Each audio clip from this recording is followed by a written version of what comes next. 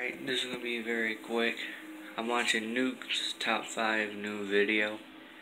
And there's a part with Donnie Drunkard. And I see this.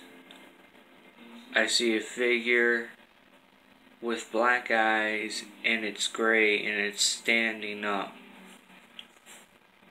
Did you see it? Because I sure did.